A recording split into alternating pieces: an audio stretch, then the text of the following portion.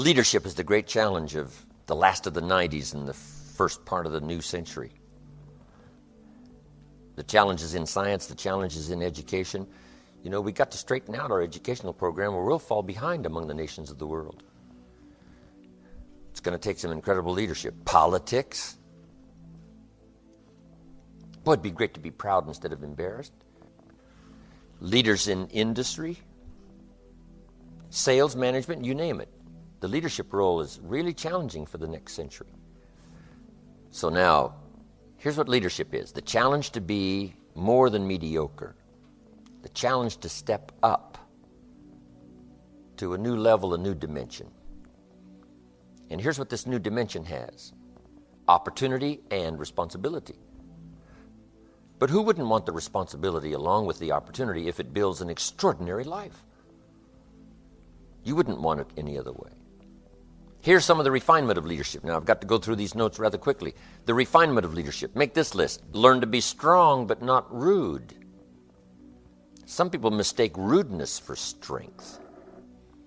Rudeness we don't need, strength we do need. Here's the next one learn to be bold but not a bully. We need to boldly seize the day, boldly seize the opportunity, boldly seize the chance. But we don't need bullies. We don't need anybody to push anybody around. There's a whole new level of leadership. Especially like in network marketing, you got to learn it anyway if you want to succeed. But, but it, it, it'll work anywhere. A new method of leadership. Here's what it is leadership by invitation, not leadership by threat, not leadership by aggravation, not leadership by intimidation that now shows the weakness of the leader. That now shows ego at work instead of skills. But it's leadership by invitation. Invite somebody to a better way of doing things. Here's what else it's called leadership by inspiration, inspiring somebody to make the necessary changes to move up or to get the job done. As leaders, we inspire. As leaders, we entice. As leaders, we invite, invite, entice, inspire. Not threaten, new kind of leadership. Be bold but not a bully. Next,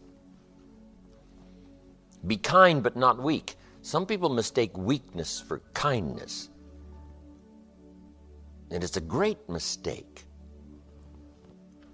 Kindness isn't weak. Kindness is a certain unusual strength. But don't say, I must be weak in order to be kind. The answer is no. Sometimes you have to be unusually strong to be kind. Somebody coined the expression tough love. Love that, that really tells the truth and levels, sometimes with a broken heart, but whatever has to be said has to be said. Kind but not weak. Here's another one that's excellent be thoughtful but not lazy. We need to give thought, but we also need to take action. You need to dream without just being a dreamer. Head in the clouds, yes, dreaming lofty dreams, but feet on the ground. Here's two or three more. These are excellent. Be humble but not timid. Some people mistake timidity for humility. Humility is a virtue, timidity is an illness. It can be cured, it can be managed. And if you are timid, you got to work on it. I'm telling you, it's a weakness. It's not a virtue.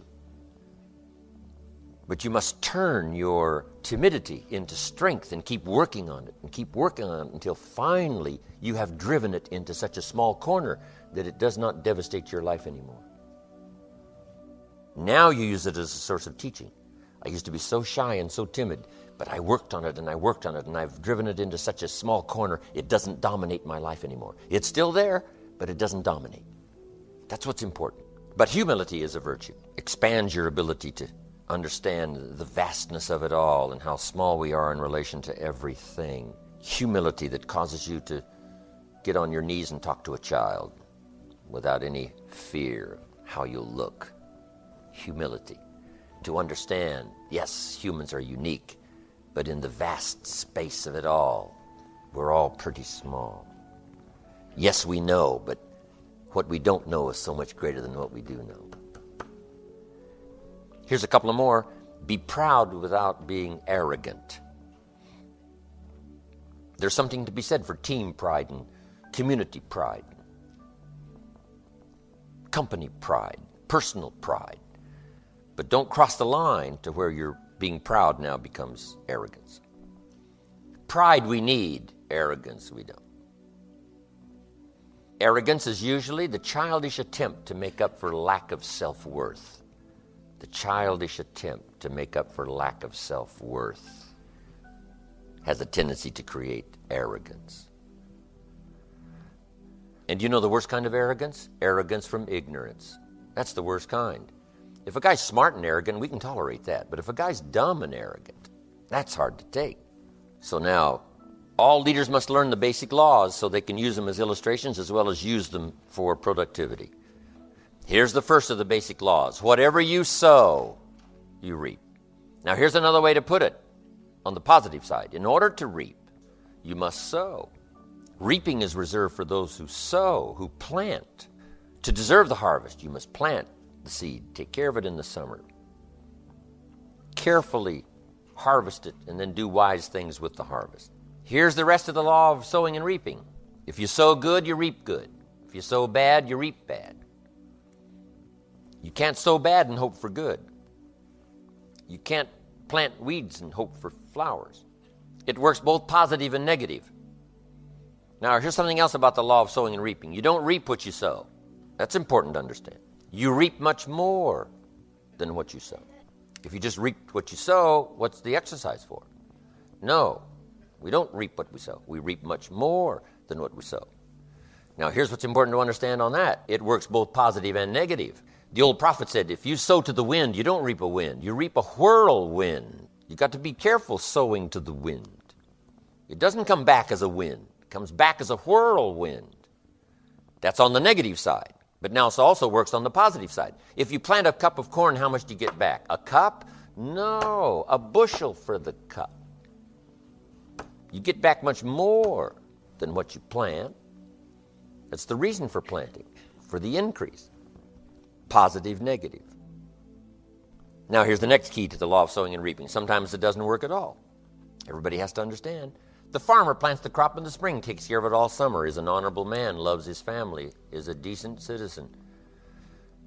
But the day before he sends the combines into the field, a hailstorm comes along and beats his crop into the ground, and it's gone, it's lost. So this time it didn't work. So now what must the farmer do? He's got to decide whether to do it again or not. Shall we take another chance in the next spring? We would advise him to do so, even though he lost everything in the last harvest. And it didn't work. You didn't reap what you sowed. But here's the law of averages. Here's the odds. More often than not, you reap what you sow. More often than not, you'll have a harvest if you plant in the spring. There's no guarantee, but more often than not. And guess what more often than not is? Pretty good odds. It's better than Las Vegas. The law of sowing and reaping. Next, one of the most important laws to learn is the law of averages. If you do something often enough, you'll get a ratio of results. Once you understand that, you know, the world is yours. Learning to employ people in the unique thing called the law of averages is stunning in its result in terms of fortune. Let's say you're in sales and you talk to 10 people just getting started. If you talk to 10, you get one we now have what we call the beginning of a ratio. Talk to 10, 9 say no, 1 says yes. I'll buy your product, I'll take your service. Somebody says, well, 1 out of 10 isn't that good. Well, you're just getting started. Because here's what happens with the law of averages. Once it starts, it tends to continue. If you talk to 10 and get one, chance is excellent. If you talk to 10 more, you'll get another one. In baseball, we call it batting average. Swing 10 times, get a hit. Swing 10 times, get a hit. Nobody bats 9 out of 10. So you don't have to be perfect here. All you have to do is understand the law of averages. Now, even if you're only getting 1 out of 10, you can now start to compete. If you've been here a long time, you can get 9 out of 10. I just joined, I can only get 1 out of 10. I'm telling you, if we have a contest, I will beat you. say, well, you just started. How could you beat me? It's very simple. If we have a 30 day run on a contest or a 60 day run, while you talk to 10 and get 9, I will talk to 100 and get 10. I win. Isn't that clever? Here's what I do if I'm new I make up in numbers what I lack in skill. I make up in numbers what I first lack in skill. Now, when my skills increase, I don't have to do 100 to get 10. Once you understand the law of averages, I'm telling you, it's so exciting to work with the law of averages. The law of averages works in our little money plan here. You know, chances are excellent if you have this little plan. I'm telling you, chances are excellent. It'll work, it'll work, it'll work. The ratios will work for you. Here's what else is exciting the law of averages can be increased. At first, you only get one out of 10, but the better you get, the more skills you develop. Now you get two out of 10, and then three out of 10. And you don't need more than about two, three out of 10 to get rich. In working with people, there's a unique story about the law of averages. It says the sower went out to sow the seed. Number one, he had excellent seed or a great story to tell and a good product to sell.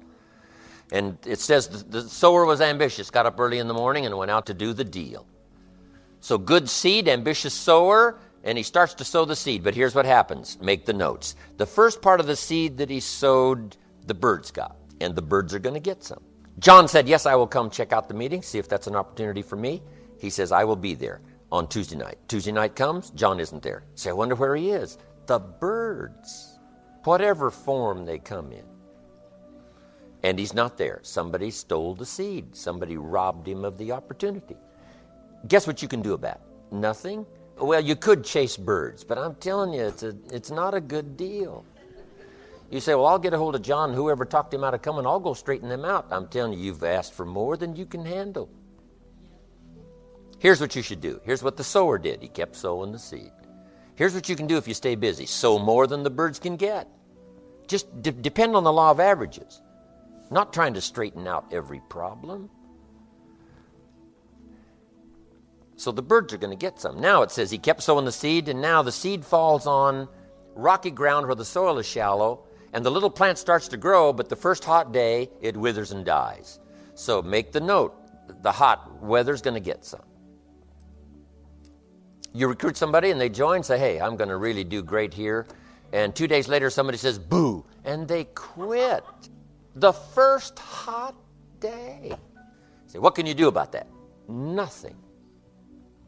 Because if you start chasing, trying to fix this, I'm telling you, it's unfixable. But here's what you can do to fix your future keep doing like the sower did. He kept on sowing. And you can't be responsible for the shallow ground, that's somebody else's responsibility. So here's the third key now. He's keeps sowing the seed, and now the seed falls on thorny ground. And this time the little plant starts to grow again, but the thorns choke it to death, and it dies. So make the note the thorns are going to get some. Here's what it called the thorns in this little story the cares of life, little duties, little distractions. I said, John, we had a meeting last night. How come you weren't here? John says, Well, I can't make every meeting. I said, Why not? He said, Well, the screen door came off the hinges. You just can't let your house fall apart. You got to take time and fix, fix, fix. I can hear the thorns. He said, Some extra trash piled up in the garage. You just can't let mountains of trash pile up in your garage. What can I do about that? People let little things cheat them out of big opportunities. And sometimes it's a little heartbreaking to watch, especially if it's somebody you care about. But there are some things, remember, you can't straighten out. You just got to depend on something else for your fortune and your future. But now let's go to the rest of the story. Here's what it says Finally, the sower keeps sowing the seed. Now it falls on good ground. Underline this good ground. And it always will. If you keep sharing a good idea, it will someday fall on good ground productive ground, receptive ground, decision making ground. Now, it was interesting though about the ground. Here's what it said about the ground. Some of this good ground now produced 30%, some produced 60%, and some produced 100%. What's that called? The law of averages. Everybody's not going to do the same. Everybody doesn't have the same ambitions. And you can't straighten this out now. You just have to take it like it comes. It's like the seasons. You can't rearrange them and say, I'll take two springs, three summers. No, you got to take them like they flow. But now, how do you get 100 percenters? Some will produce 100%. How do you get some 100 percenters? You got to go through the birds, and you got to go through the hot weather, and you got to go through the choking thorns, and you got to sort of put up with those, you know, that haven't got much ambition 30, 60 percenters, and you'll get some 100 percenters. The law of averages is, at work in the university. Are there as many seniors as there are freshmen? Say, why is that? It, it's a mystery the inevitable erosion of life says there's always going to be more freshmen than seniors. Not every race that started does everybody finish. The answer is no. Some people don't want to finish. Some people plant in the spring and leave in the summer. And you can't straighten that out. Here's what you can do Keep telling the story, keep sharing a good idea, and I'm telling you, it will work for you. So here's what we say if you want a lot of graduating seniors, you must keep loading the freshman class. The law of averages.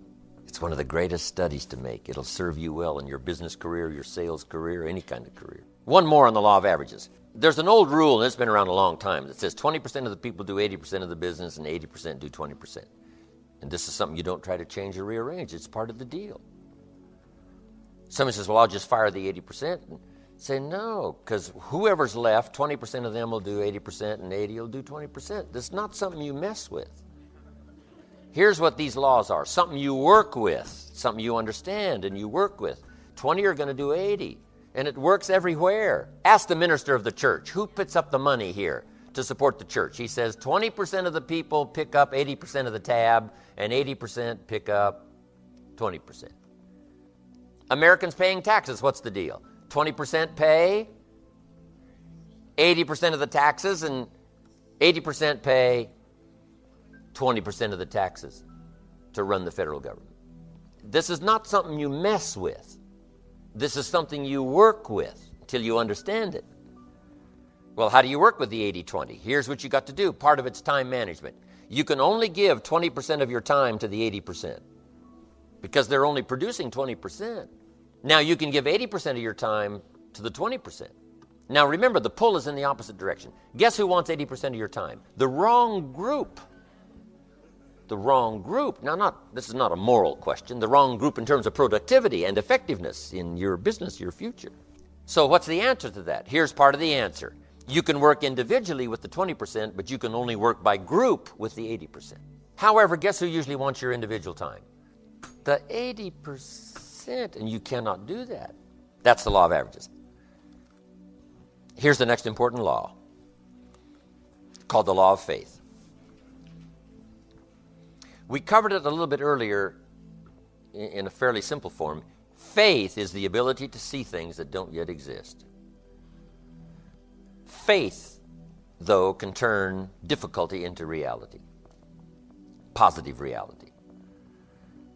And I just want to give you this quick little lineup here because it's so important to ponder and, and then work it.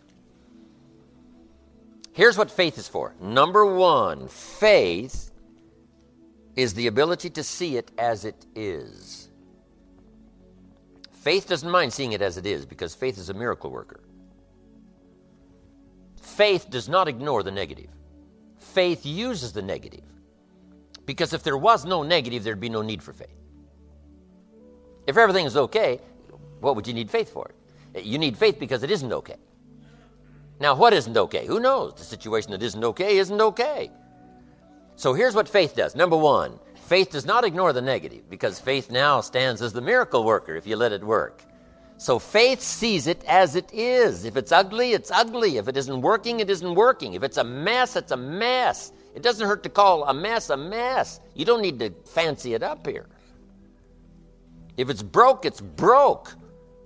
If it's miserable, it's miserable. Faith doesn't mind admitting that. Faith doesn't mind seeing that. Here's why. Number one, you can see it as it is. That's the beginning of faith, seeing it as it is. Now, here's the second step of faith see it better than it is. Couldn't you see beyond the mess? The mess is for today. Couldn't you look into tomorrow? The answer is yes, I guess I could look into tomorrow. Humans have this incredible ability to look into tomorrow, to look into next week.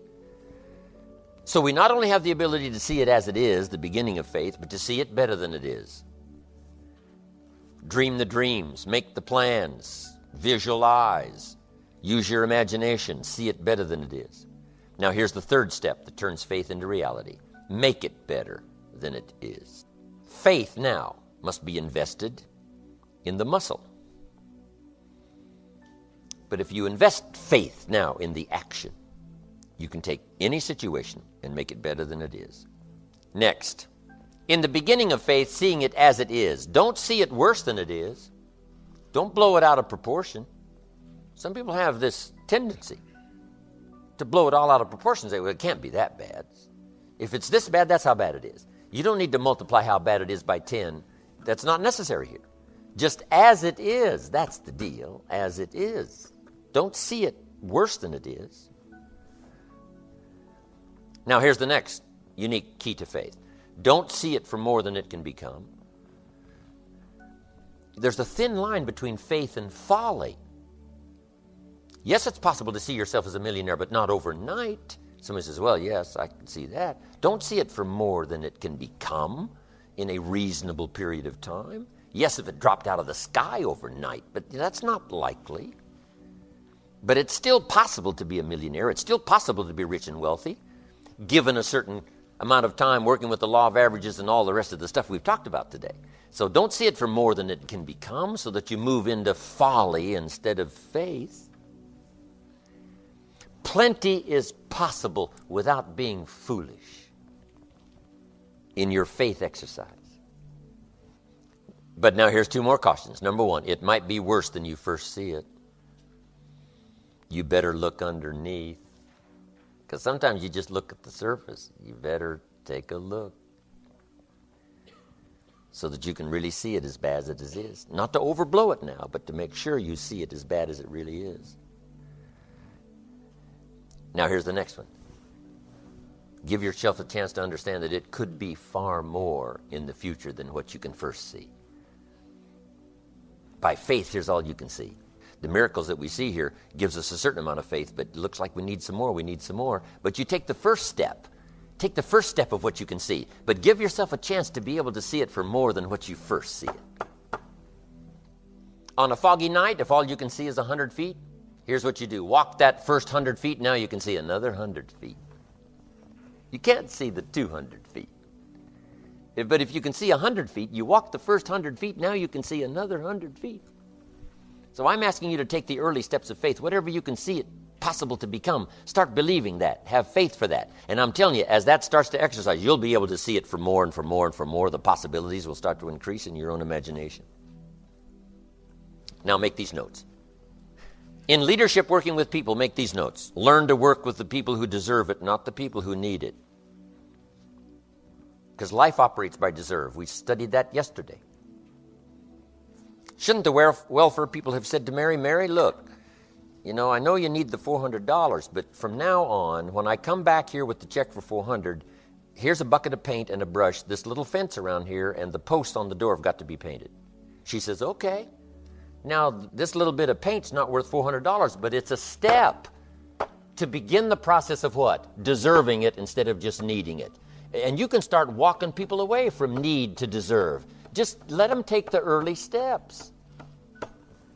Next time she comes and says, Now, Mary, if this is done and the weeds are pulled and all this stuff is done and the painting is done and the weeds are done, and then you get the next 400. And now she's starting to walk out. She starts to feel better because she's beginning to deserve it, not just need it. Isn't that big time philosophy? Teaching people how to deserve it. Work with the people who deserve it. You say, Mary, if you take this step, I take two steps. And then if you take two more, I take four more. But if you don't take the first one, I don't. You step, I step. Right? You call, I call. You try, I try. You move, I move. Teaching people how to deserve it. It starts to accelerate self esteem. You can't believe what a high the beginning of new self esteem is if a person hasn't had it for years and years and they've been beat down by their own philosophy and they've been beat down by everybody else. If you start them on the early steps that starts this process of self-esteem, self, the early self-esteem is even more valuable than the fortune because it comes at a necessary time. Leading people step by step into self-esteem and self-esteem leads to action, action leads to progress, progress leads to fortune. What else do you want? So work with the people who deserve it. Now, here's the next key show people how to deserve your time, how to deserve your help. Next, don't expect the pear tree to bear apples. Let people do whatever they can do. You can hang apples on a pear tree, do all kinds of things. Put up a sign, this is an apple tree, and you get pears. So let people do whatever they can do and let them change their mind. Let them grow and develop. Here's what I found you cannot change people, but they can change themselves. The best you can do is inspire and hope, inspire and hope, teach and hope, teach and pray and hope, and teach and pray, and inspire and pray and hope. That's the best you can do. You can't get in there and change, but you can do your best to deliver the message that can create change if someone will accept it, if someone will do something about it, take the early baby steps to get started. And be happy with the smallest progress and give some rewards and pat on the back and a big smile and say, Mary, it's going to work for you. You've taken these two steps. I'm telling you, if you can take two steps, you could take a 102. Next, all leaders must teach the fact that there is both good and evil. Here's the challenge for all of us to become the most of the good in us and the least of the bad. The most of the good and the least of the bad, because that resides in all of us. That's the beginning we talked about the other day of civilization, becoming the most of the good and the least of the bad. But we must remember there is both good and evil. I did a speech one time called Today I Am a Wealthy Man. Didn't have much to do with money, but let me give you the list and we're finished. I said, Today I'm a wealthy man, number one, because of my heritage. All that I inherited, that I didn't work for, it just, I, I was blessed with it. One was my parents, one was my country. I was blessed by books I didn't write. I was blessed by libraries I didn't build. I was blessed by courts I didn't organize. I was blessed by airplanes and telephones. I'm blessed by all that. I didn't create it, I inherited it.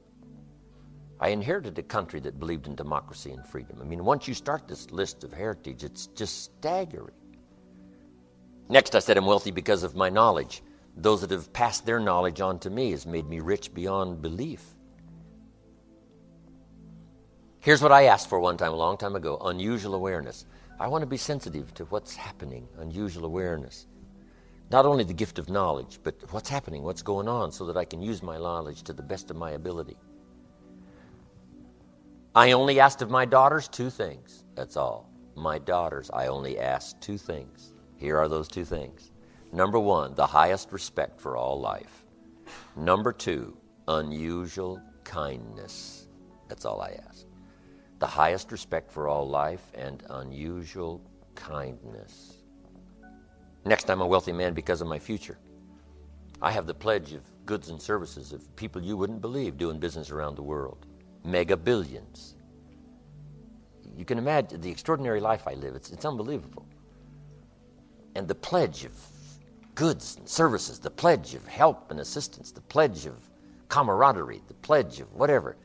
See, Mr. Rohn, what else would you like to do? We'll just go do it. You know, you want to build your own country? We'll do that. I mean, you know, whatever you want, we'll just go do. Can you imagine what that feels like? Whatever you want to do, there's plenty of resources all around the world to just go do it. That, that is so staggering. It's just unbelievable for me.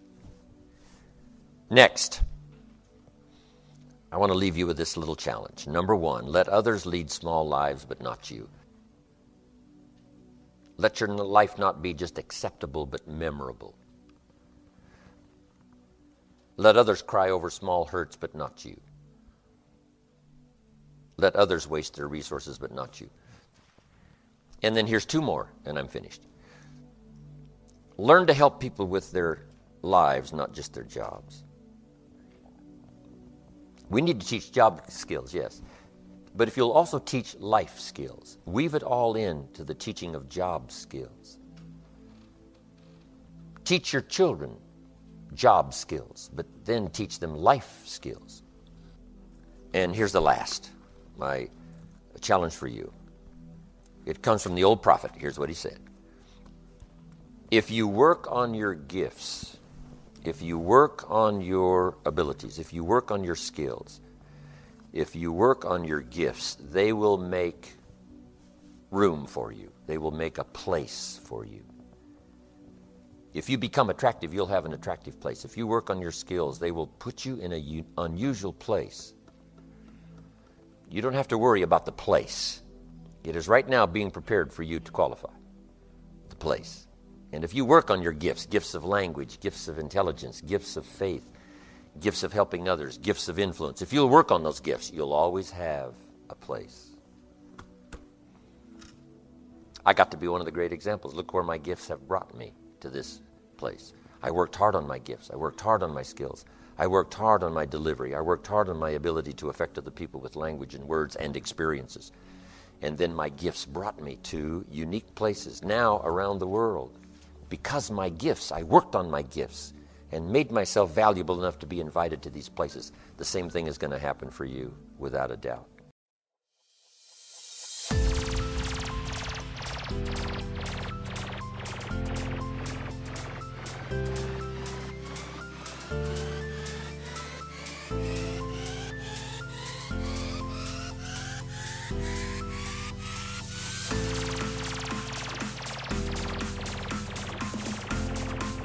Leadership is the great challenge of the last of the 90s and the first part of the new century.